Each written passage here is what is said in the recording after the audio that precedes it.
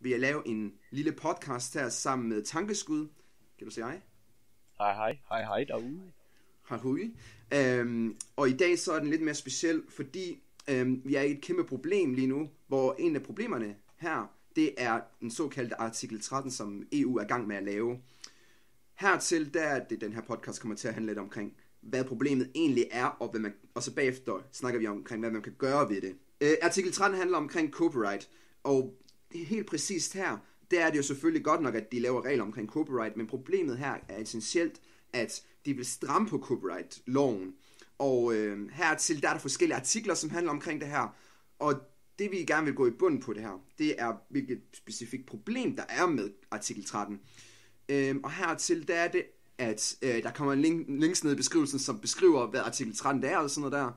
Øh, men, det, vi skal, men det, vi skal snakke om, det er for eksempel her, hvor der står i paragraf 1, øh, del 1, at information society services providers that store and provide the public access to large amounts of works or other subjects matter uploaded by their users. Og alle de her ting her, det er for eksempel YouTube, det er for eksempel Reddit, det er for eksempel Facebook. Og det her, det er meget omkring lov, så det er ikke fordi, I skal være forvirret over det her. Så lige nu, så prøver jeg at lære tankeskud lidt omkring problematikkerne med det her. Øh, og hertil, der handler det altså omkring de her streaming hjemmesider, der hoster videoer. Øh, det kan også godt være, som snakker om Facebook, Reddit, øh, alle mulige andre steder. Selv TikTok. Øh, det, selv det her er et problem. Og det er det, de handler om lige her. At de, hvad hedder det, skal, øh, hvad hedder det, have et, de skal, hvad hedder det, sørge for, at det, der bliver uploadet på de platforme, det er okay med, hvad hedder det, dem som ejer de her, øh, hvad hedder det, ejer de her øh, øh, media rights, okay. content, ja, generelt. Øh, og hertil, der er det, hvad hedder det, problemet er, at den er meget vag beskrevet, hvordan det skal føres an. Øh, en af de problemer, det er for eksempel, at øh, for eksempel, hvis nu man har et eller andet content, man gerne vil reviewe, om det er så en artikel, om det er en, øh, hvad hedder det, video, om det er et, et spil, man gerne vil reviewe, eller man gerne bare vil se, eller læse, eller bare noget som helst andet omkring det, og lave en video omkring det, jamen så kommer der til at, øh, eller så skal udbyderen af de her medier få penge for det. Og det er meget stramt beskrevet, hvor at de siger for eksempel, hvis nu at ham, der udbyder de her medier her, for eksempel øh, en musikstykke, han, skal, han har ret til penge for, at for eksempel man bruger et sekund af en øh, musik fra hans øh, video, eller et eller andet den stil. Og det er en af de problemer, der har været her. Det er, at copyrights-holderne, de kan få meget mere magt på øh, internettet på den måde. Hvilket er fint nok. Altså det er jo fint nok, at man kan copyright strike for for eksempel forskellige videoer, og for eksempel forskellige musik. Men problemet er her, at de beskriver ikke, hvordan, hvor stramt det kan være på det her. De kan for eksempel sige, hvis du bare bruger et sekund på det her, jamen så kan du copyright strike det med det samme. Og det er en af de problemer, som YouTube står overfor lige nu. Øh, så ja, det er en af de problematikker, der har været her med det her. Og øh, jeg ved ikke, om, øh, om jeg forklarer det fint nok. Hvad, synes, hvad synes du? Forklarer det fint nok?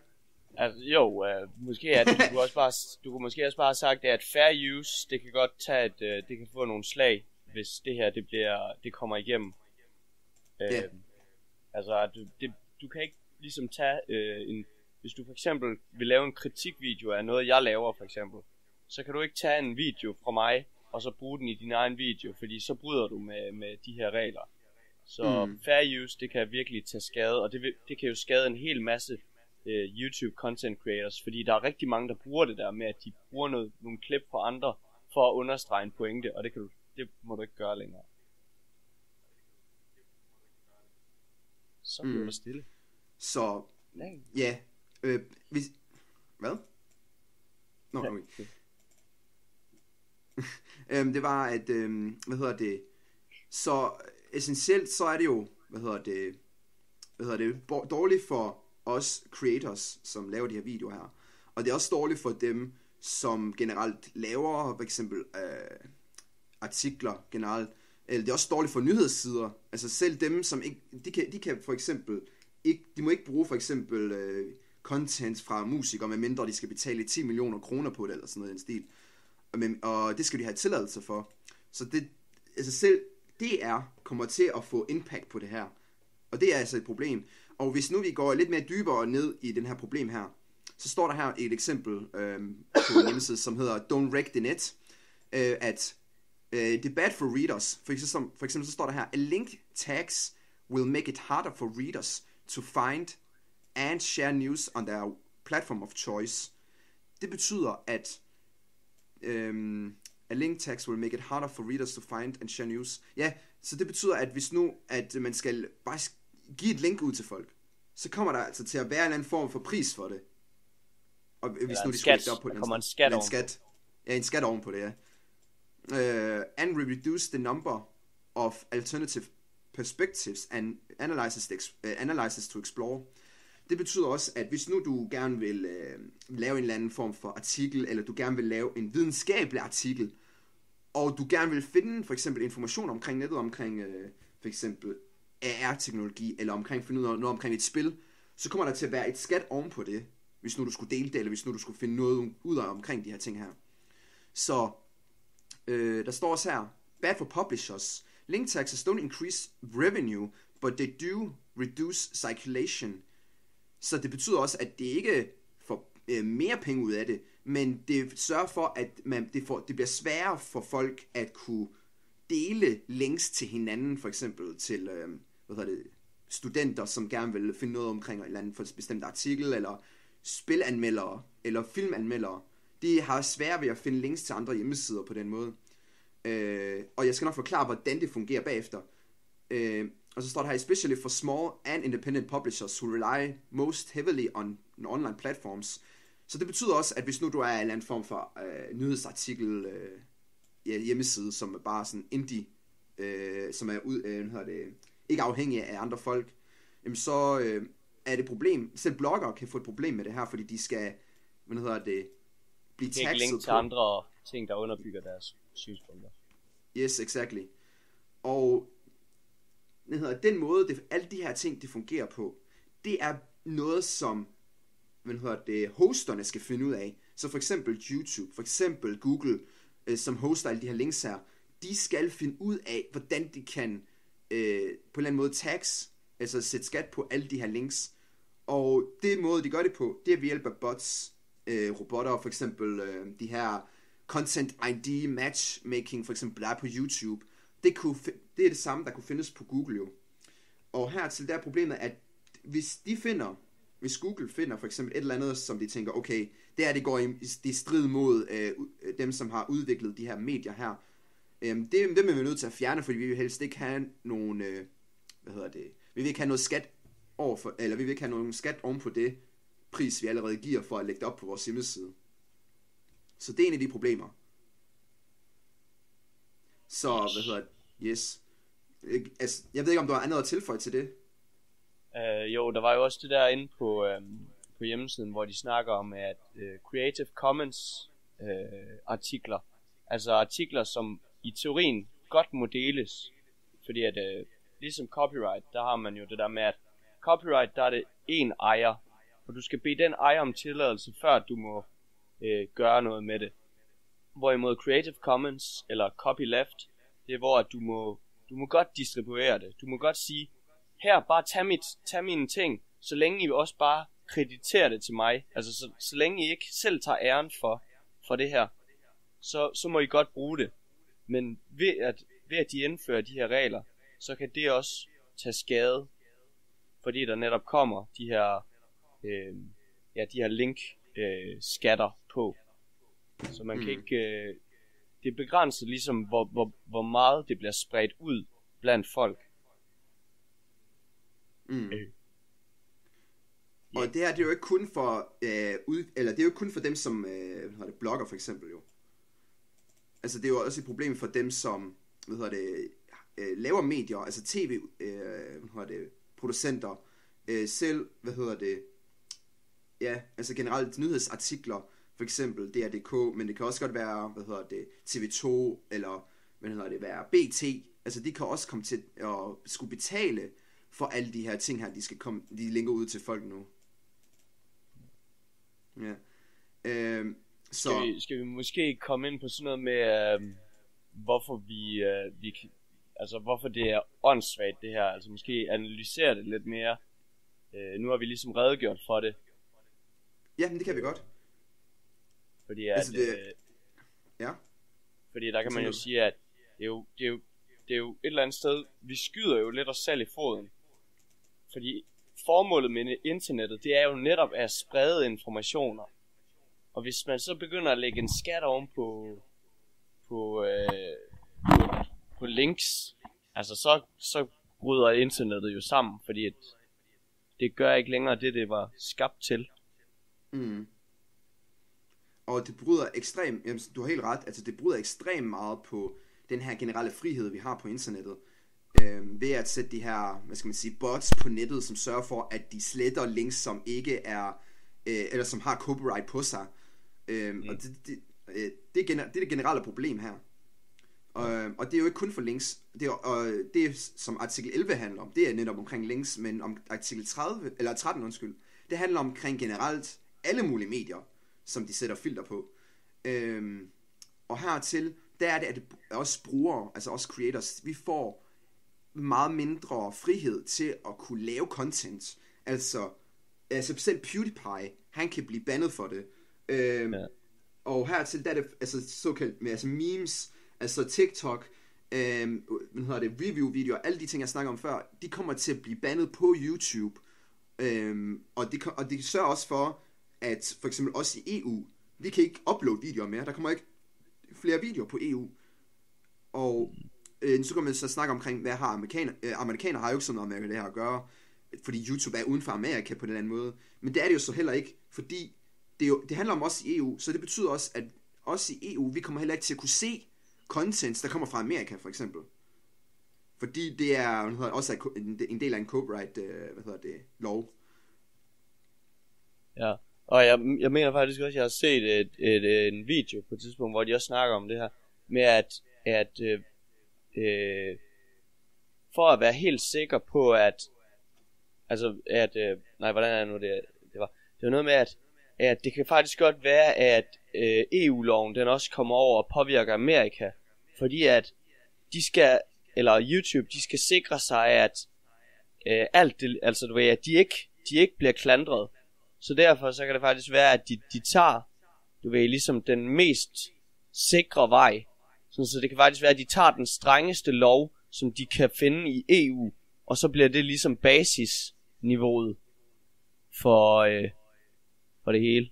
Men tanken her, det, det har du helt ret i. Altså, hvad hedder det, hvis at det her det kommer til at gå igennem i EU, så betyder det også, at Amerika de tænker, hmm, kan vi lige genopleve uh, FUPA og, nej, hvad det hedder, øh, FUPA og alle de andre, hvad hedder det, copyright, hvad hedder det, laws, som øh, man snakker om, man vil have dengang. Når jeg Acta og Sopa og Pipa. Og det er det, det hedder. Ja, Acta, ja, Sopa og Pipa.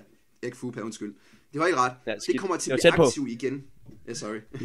øh, men øh, ja, det kommer til at blive aktiv igen øh, på, um, i Amerika. Og det er, man det, det, så kommer det til altså at have et uh, problem i hele verden, det her. Øhm, og det kræver, det gør også, at ens kreative frihed, det bliver, hvad hedder det, udfordret. Øhm, så, men, øh, men for ja. lige også at vende tilbage til det der med, altså, der er jo et eller andet sted, det giver jo, det giver jo god mening, at de, de laver de der regler, fordi det er jo, det er jo for, at de, de vil have, at, du ved, dem der oprindeligt har lavet indholdet, de skal tjene penge. Sådan så, det er jo en god, det er jo en god tanke. Det er en, det er en god tanke, der ligger bag ved, ved, at de har lavet de her regler. Problemet var bare, at de skulle, de skulle måske have grebet det anderledes an. Måske i stedet for øh, sådan noget med, at hvis, hvis nogen de, de tjener penge på dit content, jamen så skal de give en lille bitte smule af den indtægt til dig. Det kunne man jo også have gjort, i stedet mm. for det andet. Mm. Det er jeg helt enig i. Og det er jo en af de måder, vi kan fikse det på. Ja. Um, og nu, nu vi snakker om fixes, så, så er det ikke fordi, vi prøver at stoppe det faktisk. Jeg synes, det er fint nok, og, det, og jeg formoder også, det, du synes, det er fint nok at, at inkorporere det her. Men det er ikke 100% øh, det, godt nok. Altså, grundidéerne, grundidéerne kan det godt være, at sådan, altså, det der, idéerne, der ligger bagved, eller formålet bagved, det, det er godt. Men måden, de ligesom implementerer det på, den er jeg ikke helt så tilfreds med. Mm. på den Og- måde. Ja, netop. Og hvad hedder det? Vi har forskellige øh, hvad hedder, links nede i beskrivelsen, som I kan tjekke ud. Øh, for eksempel Don't Wreck the Net. Forklar netop omkring, hvad for nogle ting vi kan fikse på artikel 11 og artikel 13. Og hvad, man, og, hvor, hvad I kan gøre, det forklarer jeg lige om lidt. Øhm, fordi det, der handler om, det handler om, at vi skal sige til politikerne, hey, det her, det er altså et problem, og jeg kommer til at, for, jeg skal nok lige forklare, hvem det er for en politiker, vi snakker om her. Øhm, vi skal ja. Ja. forklare politikerne, hvad for et problem det her det er, og det er okay, at artikel 13 og artikel 11 kommer ind i billedet, men at der skal være nogle fixes til det, altså der skal være en eller anden form for rettelser på de her artikler her, som gør, at, at det, det ikke bliver fuldstændig restriktivt det hele. Og øh, en af de her fixes fra artikel 11, som handler omkring det her link taxing, det er, og der står her, clarify in great detail what will require a license. Det betyder, at de skal i større detalje beskrive, hvad der kræver at få en licens til at kunne dele links ud til folk. Og det er en, en, det er en af de her ting her. Og der står også her, greatly limit what sites this applies to. The current digital uses is so broad uh, as to include basically any use. Og det her problemet ligger, det er for eksempel, de, de beskriver i uh, artiklen, digital uses, som kan være alt digitalt. Og ja, men hvad, altså, hvad, nu hvis på min, hvad nu hvis på min mobil? På min mobil, der må jeg heller ikke dele mit link ud til, uh, hvad hedder det, til, til mine venner på Instagram for eksempel, eller hvad? Jamen, altså, det er jo det, det her problemet handler om. Det er, at de, de ikke beskriver helt præcist, hvad det her handler om. Øh, og hvilken platform det handler om. Øhm, og det er fint nok at sige for eksempel, og nu, nu kan man måske sige, jamen hvis nu man siger kun YouTube, og kun Facebook og sådan noget der, det er stadigvæk et, øh, hvad hedder det, et problem, fordi man skal jo ikke være alt for limited på den måde. Men man skal stadigvæk mm. kunne finde ud af, hvilke platform man har tilladelse til at kunne gøre det her i, og hvilke platform man ikke har tilladelse til at gøre det i. På en eller anden vis. Og det burde have en eller anden form for fællesnævner. Øh, der står også her, øh, the license should only apply to the use of significant amounts of content, well beyond a single sentence or headline, and should only apply in cases where the content might act as a substitute. Altså det betyder også, at licensen kun skal øh, virke på det specifikke content. Så hvis nu for eksempel vi siger, at øhm, jeg må ikke bruge en sang fra øh, Snoop Dogg, som, og så for eksempel quote en sentence, eller quote et, øh, et, sen- øh, hvad hedder det, et stykke fra den. Det må jeg ikke gøre, for eksempel. Okay, men fint nok, men så er det kun det, det handler om. Så er det ikke fordi, at hele artiklen, som man prøver at reviewe fra øh, Snoop Dogg's øh, sange, de skal blive øh, taget ned, på grund af, at man kun quoter en sætning fra hans sange. Og det er jo sådan noget af den stil, man gerne vil prøve at skærpe lidt mere omkring. Så det er nogle af de her ting, man kan gøre. Og øh, hvad hedder det? Øh, hvad hedder det? I kan igen se det nede i beskrivelsen, alle de links, vi har til det her. Øhm, og jeg ved ikke, om du har flere til artikel 11, fordi så smutter vi lige over til tra- artikel 13, hvad man kan gøre der. Nej. Øh, nej. Okay, Jamen, fordi øh, igen på, øh, hvad hedder, Don't Wreck the Net, øh, står der også maintain, altså for artikel 13, som handler omkring det her copyright. Maintain the hosting safe harbor, letting platforms know exactly what they can do to avoid liability. Problemet her det er, at YouTube, de ved godt, at de, øh, de uploader sange, de uploader tv-serier, og det er jo ikke kun YouTube, der gør det jo, det er, altså det er brugerne, der gør det. Men YouTube øh, står i sådan en situation, at de tænker, okay, jamen, vi ved ikke helt, om det er lovligt eller ej, men så, okay, så fjerner vi det eller ej. Og det er det, YouTube gerne vil vide jo. Et go- rigtig godt eksempel, det er for eksempel, hvis folk, de uploader et eller andet fra TV2, øh, og lægger det op på YouTube, så er det jo, at man kan forestille, og det for eksempel handler omkring øh, et eller andet krig, der er i Afghanistan for eksempel. Så kunne man godt stå i sådan en situation og tænke, hmm, TV2 laver en nyhedsudsendelsesplatform. Øh, øh, platform. de, øh, de op, der bliver uploadet noget på vores hjemmeside. Øhm, det må man ikke, fordi det er TV2, som ejer rettighederne, og så fjerner vi det. Okay, fair nok. Jamen, men hvad nu hvis, at det er til øh, øh velgørende formål? Hvad nu hvis det er til for eksempel øh, skoleformål osv.? Det er jo så her, igen, YouTube er nødt til at få at vide, hvad for nogle ting, de har, de har lov til at lade blive på hjemmesiden, for at de kan, øh, lade, ja, for at de ikke bliver, hvad hedder det, øh, hvor, øh, hvad hedder det, arresteret, eller ikke arresteret, men får copyright striket. Ja, Øhm, for- Yes. Ja. Nej, det var. Og, øhm, yes. Jamen, det, er, men det det, er en af de ting. ja, fair nok. Så yes, det er nogle af de ting, det er en af de ting, man kan gøre. Øh, det er at sørge for, at YouTube ved, hvad de skal gøre, for ikke at, blive op, for ikke at hvad hedder det, bande dem fuldstændig. Der står også her, make it explicit what, exact, what existing liability protections such as those in the e-commerce directive remain in place, even under article 13. Så det betyder, at hvad for nogle allerede eksisterende, øh, hvad hedder det, øh, øh, man skal gøre det mere eksplicit, hvad for nogle allerede eksisterende, øh, hvad hedder det, platforme, og nej, undskyld, for allerede eksisterende medier, kan være under den her protection. For eksempel musik, og for eksempel, øh, hvad hedder det, videoer og filme, og for eksempel. Det er sådan nogle ting, som, som gør, at man ikke må uploade på YouTube, for eksempel. Men for eksempel en nyhedsartikel, må vi ikke øh, lave en nyhedsartikel på YouTube for eksempel, eller linke den på Facebook for eksempel. Det er sådan nogle ting, vi er nødt til at finde ud af, hvad der er mere, mere præcist. Fordi lige nu så er det, at de går meget broad omkring det her. Så de siger, at næsten alle digitale medier er forbudt lige nu. Øhm, og det er det, vi skal gøre mere, mere eksplicit. Hvad for nogle af det helt præcist mener. Der står også her, clarify, define what is meant by appropriate and proportionate as it provides absolutely no guidance to service providers and is left wide open for litigation and abuse. Altså appropriate og proportionate øh, beskrives i artiklen som om, at øh, man kun må bruge en del af det. Men hvor stor en del må man bruge af det? Jamen, det, det ved ingen jo. Så hvis nu man siger for eksempel, er en, en sætning, er det fint nok? Jamen, det ved vi jo ikke. Øh, så, okay, øh, og hvis nu for eksempel øh, ham der, hvis nu man quoter Snoop Dogg i gun, øhm, øh, eller beskriver en sætning, øh, eller vi fortæller en sætning fra hans sange, så kan Snoop Dogg sige, jamen det må du ikke gøre. Nu skal du øh, ikke, nu skal du fjerne videoen, eller nu skal vi fjerne et nyhedsartikel for eksempel.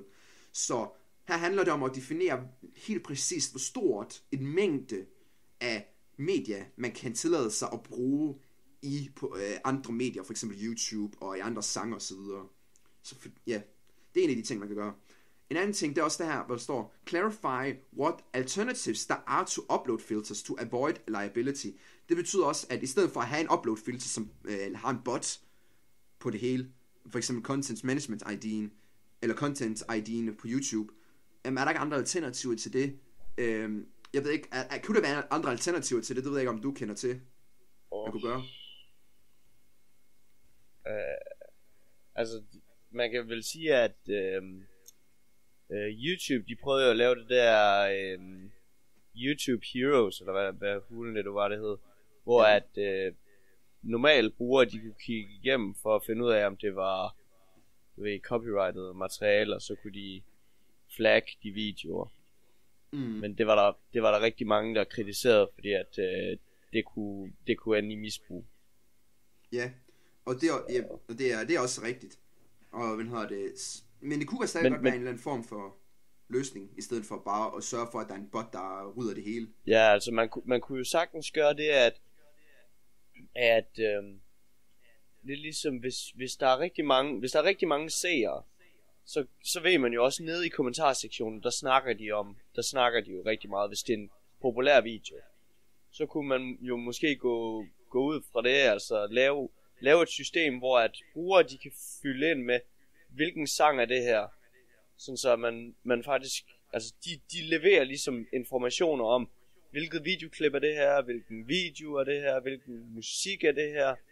Og på den måde, så får man ligesom at vide, hvad, hvad for noget content, der er i videoen. Mm. Måske. Og det er helt...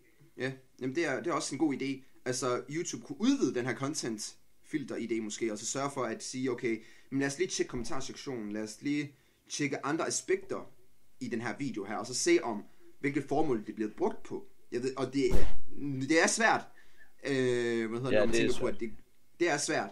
Men når man tænker på, at Google de allerede har sådan en content ID management, eller content, content ID copyright ting der, så kan man lige så godt udvide i den, altså på den måde.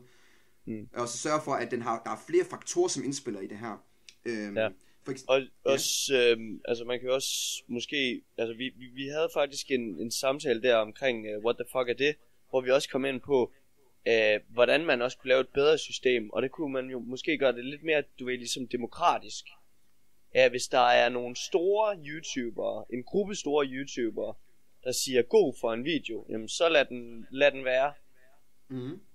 Hvorimod, hvis at, øh, der er rigtig mange, der siger, åh, oh, det der det er ikke godt, jamen så, så, så er der en rimelig god indikator for, at det er ikke godt det her. Det skal man passe på med det her. Det tror jeg bliver lidt svært for f.eks. PewDiePie og alle de andre, så, så kommer de til at få Ja. ekstra arbejde. Ja, så jeg ved ikke helt, hvor en god idé. Ikke fordi jeg skal skyde Nej. ideen ned, men man kunne Nej, godt men- tage, men man kunne godt tage en, øh, hvad hedder det, vælge en gruppe af mennesker, øh, som man stoler på. Ikke de bedste, ikke de mest subscribede YouTuber på YouTube eller et eller andet Nej. stil, men det kan godt bare være en gruppe mennesker, som, øh, hvad hedder det, hvad hedder det, som kunne definere det på den måde, eller som kunne hjælpe med at content det, Ja. eller hjælpe med at filtrere det. Det kunne man gøre. Øhm, og så skaber man også mere jobs ud af det, I guess. Nej, jeg ved ikke. Men altså, der, der er alternativer til at, i hvert fald, og det her upload filter. Fordi bare fordi jeg uploader et sætning af en sang, mm, så bliver den pludselig bandet på, og det er altså lidt irriterende, hvis nu jeg skal bruge den til at reviewe, eller hvis nu du skal bruge den som øh, baggrundsmusik, eller et eller andet. Øhm, så i hvert fald, der står også her som det næste punkt, clarify which service providers Article 13 applies to in, in much more detail. This uh, includes a clear definition of public access to large amounts of work. What is large, for eksempel. Og YouTube, og jeg tror, det artikel 13 prøver at gøre her, det er, de prøver at i fremtiden at sørge for, at hvis der bliver lavet en YouTube nummer 2-agtig hjemmeside, jamen så er det også, den skal sørge for, at de også bliver under det der. Og Ja. jeg tror, det er det, artikel 13 prøver at lave. Så øhm, når man snakker om service providers her, så, så kan det både indgå i Facebook, men det kan også godt indgå i øh, platforme som øh, en platform, som ikke er så kendt, altså skolenetværk for eksempel, hvis ja, der er en form for skolenetværk på den måde. Altså det, det er også indgået i det her for eksempel. Øhm, og der kan man så spørge, spørge om, hvad er large så? Jamen, øh, er det 500.000 megabyte, eller, eller ikke 500.000 megabyte, gigabyte for eksempel, eller at, hvad, hvad er det? Det ved vi jo ikke, og det der er problemet, det skal, være mere, det skal sørge for, at de beskriver det noget nærmere på den måde. Øh, Ja, der så, så det ikke her- bliver så vagt, fordi ellers så kan man jo bare tage en lille bitte ting, og så bare, ah! Ja, netop, helt sikkert. Øh, Det er, det er derfor, at det er problematisk, det her. Det er fordi, de ikke beskriver det her, de her artikler ordentligt. De beskriver ikke reglerne ordentligt. Og det er det, vi skal forklare til politikerne. Og igen, der beskriv, altså alle de her ting, vi har snakket om her, det står på øh, den hedder Don't Wreck the Net hjemmesiden. Så hvis I mangler noget at snakke med politikerne om, så beskriv dem her ting, der står her, og forstå dem først. Fordi politikere, de er meget følsomme mennesker.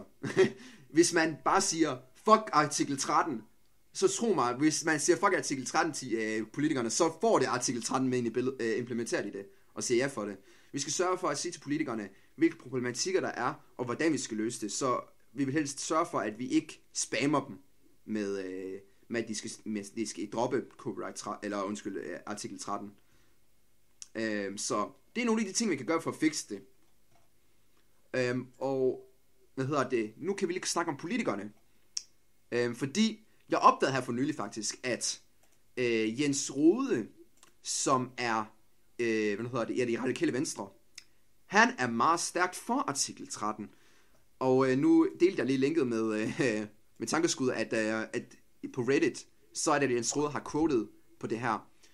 Så står der her, to års kamp for kunstners ophavsret nåede en milepæl med vedtagelse af parlamentets lovvalg i dag. Nu begynder vi forhandlingerne med rådet og kan forhåbentlig snart sætte en stopper for verdens største tyveri af ophavsret. Og det, altså, så man kan nok høre, at han er meget for det her øh, artikel 13, og han er fuldstændig ligeglad med, hvad man kan gøre på internettet. Altså bare man kan copyright alt-agtigt. Men så er det fint. Det er han glad for, bare. Så, øh, jeg tror, vi skal sørge for, at øh, hvis man kan, ikke at jeg ved det, at sørge for, at man kan ligesom måske overbevise ham om, at okay, det er fint nok, at man har de her co- øh, copyrights på, men måske skulle man sørge for, at det var lidt mere bedre beskrevet. Det er i hvert fald noget, man kan gøre. Snakke med Jens Roth om det. Men andre politikere, der er med i det her, som jeg synes er underligt, at det alle sammen er forholdsvis gamle mennesker. øhm, så jeg håber, de har forstand på internettet. Øh, og det er ikke, fordi jeg vil øh, gøre noget mod dem. Øh, jeg har noget ondt mod dem. Men der står her, øh, Margrethe Augen, som er i for, øh, Socialistisk Folkeparti. Hun er en del af EU og repræsenterer Danmark. Øh, Bent Bensen, som er i det konservative folkeparti. Øh, Ole Christensen, som er Socialdemokratiet. Øh, Jørgen Dormand, som er i Dansk Folkeparti. Øh, Rina Ronja Kari, som er i Folkebevægelsen mod EU. Okay. jeg tror, hun er... Okay, det lyder meget godt. Okay, fair nok. Så ved vi, hun er imod EU, I guess. Øh, og vi har Rikke Louise Carlsen, som er... Hvad hedder ikke i nogen parti, så hun er, hvad hedder det, øh, nu kan jeg ikke huske, hvad det hedder, men øh, hun er... Øh, i, øh, løsgænger, løsgænger hedder ja, det. løsgænger, det der hedder det. Tak for det. Yes. Og vi har Jeppe Kofod, som er i øh, Socialdemokratiet, og vi har Morten Lykkegaard, som er i Venstre, og så har vi Morten Messerschmidt, som er i Dansk Folkeparti, og øh, Morten Petersen, som er i Dansk, øh, eller det radikale Venstre også, øh, Christel, som er i Socialdemokratiet, og Anders, som er i Dansk Folkeparti. Og alle dem, jeg har nævnt her, dem kan I ringe til. Dem kan I snakke med. Og I, I behøver ikke at spamme dem. I behøver ikke at true dem. Det skal I ikke gøre. I skal bare skriv til dem på Facebook. Skriv til dem, eller snak med dem på øh, øh, hvad hedder det, offentligheden. Eller på en eller anden måde besøg dem, eller bare snak med dem over telefonen. På en eller anden måde overbevise dem om, omkring alle de her problematikker, der er med artikel 13. Der kommer en link ned i beskrivelsen til hver især af de her politikere, som I kan, hvad hedder det, som I kan finde ud af. Så, det er basically det. Der er ikke meget mere. Og jeg ved ikke, om du havde mere til det her. Øhm, måske lidt ved, ved den der med, hvordan man også kunne, kunne ændre tingene øh, lidt. Fordi at man siger ja. jo også, at sådan noget som civil ulydighed, det mm. kan også være med til at omforme regler. Fordi hvis befolkningen, de ikke følger reglerne, jamen, så, så viser det jo lidt at, at samfundet, det er, ikke, det er ikke noget samfundet, de, de vil følge. De har ikke lyst til at følge øh, den ting. Altså for eksempel, hvis, hvis det var sådan noget som, øh, hvis, vi vender, hvis vi vender tilbage til sådan noget som øh, nazitiden, at øh, jøderne, de skulle henrettes. Hvis folk, de ikke, det vil de ikke være med til, det er jo civil ulydighed. Eller måske sådan noget som øh, med Gandhi, at han fik, han fik også folk til at, øh, til at, nej, lad være, med at, lad være med at gøre, som jeres undertrykker siger. Så bare gør, gør hvad, hvad, hvad I ligesom vil. Altså, del, del måske endda de der ting, selvom det måske er ulovligt. Fordi at på et eller andet tidspunkt, der må de også se, at jamen, befolkningen, de bliver ved med at kæmpe imod os. Hvorfor gør de det? Fordi at de ikke, de føler ikke, at det er retfærdigt, det I gør. Det er jeg helt enig i. I og dropped her... a bomb there. ja, men helt, det er helt seriøst det her. Og, øh, altså, det kan godt, Selvfø- synes, selvfølgelig det er til en vis grænse. Selvfølgelig det er til en vis grænse. Du skal ikke, du skal ikke bare dele copyrighted materiale, øh, og, og måske endda prøve selv at tjene penge på det, fordi der er jo andre folk, der har lavet det copyrighted materiale, men alligevel, mm. jeg synes ikke, man skal, du ved, sætte det sådan helt hårdt op. Du må slet ikke, du må slet ikke, altså, lidt mm. må man godt i nyerne. Mm. Og en af de største problemer, det er også, at man ikke helt ved, hvad for et formål man må bruge det på. Øhm, og det, så i teorien, så det jeg snakker om, hvis du har gode formål med det, hvis du laver velgørenhed med det, så kan du stadig blive bandet for det. Altså selv streamers, som for eksempel yeah. streamer musik øh, og spiller spil, for eksempel til et velgørende formål, de kan blive bandet for det, fordi de ikke må gøre det. Altså, fordi det er imod loven. Og øh, nu kan man snakke omkring civil udlydighed, og det er også en af de ting, man kunne gøre. Men en af de ting, der er det vigtigste, det er at sørge for, at politikerne, de får besked om det her, at de ved, at det her, det er altså et problem, og at man ikke bare skal øh, bare in, øh, inkorporere det og implementere det i hele EU på den måde, uden at tænke over, hvad for konsekvenser det har. Så, øh, hvad hedder det, du kan sagtens, stadig, du kan sagtens gøre de ting, du stadig gjorde alligevel, men der bliver bare stærkere, hvad hedder det, der bliver lagt stærkere ned på det. Der bliver, du bliver ja. mere, hvad hedder det, ja, straffet for det, hvis du skulle ja. blive fanget i det. Ja, man skal være forberedt på, at, at man måske godt kan komme i problemer, men altså hvis man, mm. hvis man tør gøre det, det kan man, det kan også flytte nogle bjerge. Mm. Så. Men, men man skal også styre på det. Man skal virkelig kunne sit shit, før man begynder at gøre det der. Ja, netop. Og, men hedder det, i forhold til det faktisk, der regnede jeg med at lave nogle andre videoer. Og det håber jeg også, du kommer til at gøre på et tidspunkt, øh, Ja, jeg, jeg regner også med at lave nogle, øh, en video, hvor jeg, hvor jeg laver lidt af, sådan måske tager min lidt egen vinkel på det, øh, mm. men hovedsageligt at det også bliver noget af det samme. Mm. Fordi jeg tænker på at lave nogle videoer omkring, hvad for nogle alternativer der er til for eksempel YouTube, for eksempel til ja. Facebook, for eksempel til Twitter og alle de andre hjemmesider og Google også. Øhm, fordi det handler om os, om os, at vi ikke skal være, hvad skal man sige, slaver for Google og bruge Google hele tiden og lade dem finde ud af, hvad vi laver. Men det er et helt andet snak. Øhm, men hvis vi sørger men det ligger for, også at... lidt, det ligger også lidt ind i det. Det ligger lidt ja, ind i det. Det ligger lidt ind i det. Det er rigtigt. Men det tænker jeg på at snakke til en anden, eller lave en anden video omkring. For lige nu så er det sindssygt vigtigt, at man, har det, man øh, deler den her besked ud til folk. Og nu, ja, det, det er vigtigt, at vi deler den her besked ud til folk og siger det til folk, og siger det til alle i Danmark. Alle, både gamle, voksne, børn, babyer skal vide det her. Det er så vigtigt, at det her det kommer til at have en stor, stor fremtid. Øh, en, eller indflydelse på fremtiden, hvis det her det kommer til at øh, det, blive implementeret. Så det man skal gøre, det er de her tre ting. Find ud af omkring det her, og så øh, snak om det med jeres venner og veninder. Lav videoer omkring det her, og så sørg for, at du snakker med politikerne om det. Det er nok fire ting, men ja, med det. Snak med politikerne om, om det, så de ved, hvilket problem der er. Fordi hvis du kommer med de her forskellige fixes til dem, hvis de kommer med nogle rettelser til dem, så kan det være, at de bliver mere betænksomme og tænker, okay, det, det kan vi godt implementere også. Fordi når lige snart det er det implementeret, så er det ikke sikkert, at vi kan ændre i det igen. Eller med mindre, at det skal gennem tre, øh, tre øh, hvad hedder det, valg igen, og så kommer vi til at gå gennem hele beduljen igen. Og så det er vigtigt, at vi sørger for, at flere ved om det her. Fordi lige nu så har folk prøvet at kæmpe for, at, eller prøvet at sørge for, at det her det ikke bliver bare implementeret, øh, men sørge for at blive rettet i. Det er allerede blevet votet to gange med ja, at vi skal implementere det her. Og nu er de i gang med deres tredje vote.